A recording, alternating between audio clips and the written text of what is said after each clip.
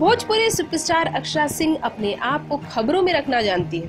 तभी तो कुछ न कहकर भी वो बहुत कुछ कहती हैं। और जब कुछ कहना होता है तो चुप्पी साध लेती हैं। खैर, ये तो उनका रवैया है। लेकिन अब अक्षरा सिंह किन वजहों से चर्चा में है?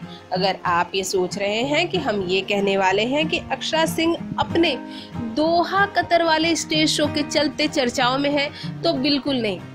दोहा कतर में इस वक्त अक्षरा सिंह ज़रूर है, बकरीद के मौके पर स्टेज शो कर रही है प्रदीप पांडे चिंटू के साथ। लेकिन वो इस बार खबरों में इसलिए है कि एक जो तस्वीर उनके सामने आई है, उसमें उन्होंने अपने फिंगर में अंगूठी पहनी है।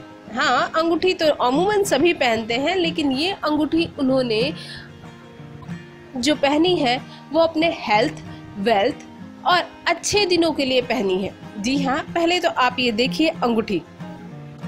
आजकल आपको हर किसी के हाथों में ऐसी अंगूठी देखने को मिल जाएगी, जिसमें कछुए का निशान बना हुआ है। जिस, वैसे भी कछुए को हेल्थ और वेल्थ का और साथ ही साथ लक का साइन माना जाता है। अक्षरा सिंह को इससे पहले ये अंगूठी पहने देखा नहीं गया, जब तक पवन सिंह उनकी लाइफ में थे।